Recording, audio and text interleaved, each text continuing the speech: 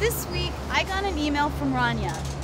She's getting ready to celebrate her anniversary, so I've invited her into my kitchen where I'm gonna teach her and you how to cook a fantastic dinner.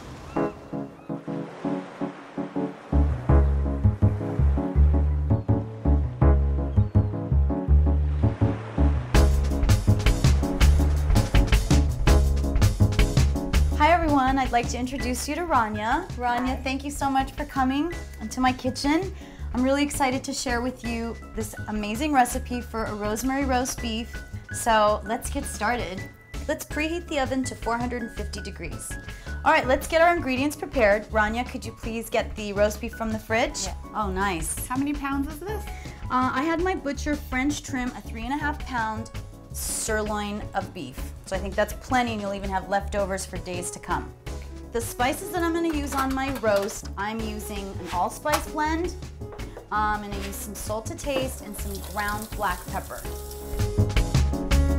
We really want the spices to get infused into the meat. Let's take a couple of dashes of salt. This is sea salt, it's nice and coarse. Let's put some black pepper. I'm gonna put a little bit of olive oil, and this is also gonna let the spices kind of get absorbed and stuck to the meat.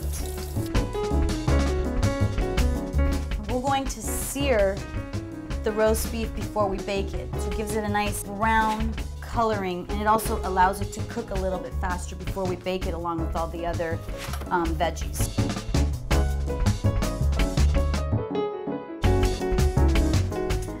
Okay, now that is a perfectly seared roast. See how nice and brown it is on all sides? Mm-hmm.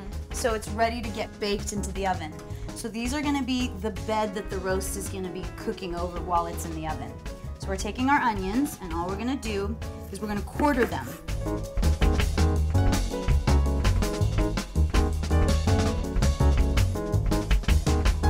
The yam, they add like a nice sweet flavor to this meal. Ginger is gonna give it a really nice sort of fiery flavor. We're gonna slice it really thin because why? The ginger can be a little overpowering. Get it? Smash. We're just gonna put the garlic whole. It adds a really lovely flavor and it's healthy. Two dashes of salt. Let's get some black pepper. And why don't you drizzle some olive oil? How much olive oil? I would say a good half a cup. Olive oil will make the veggies nice and crispy too. I'm gonna just get in here, I'm gonna toss it all around together. Why don't you get the roast on the bed of our veggies? Okay. And I'm going to get the rosemary, which I love the smell of.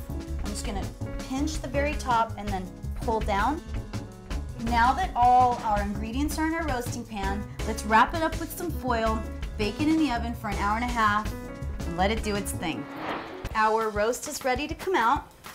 Oh, yum, Ooh, right? That looks amazing. That looks amazing. Okay, see I put my knife in there and it comes out smoothly. That's a real good indicator that it's ready to go. Let's take a little peek. Yes, no pink inside. So you know what we're gonna do now is we're gonna let the meat rest.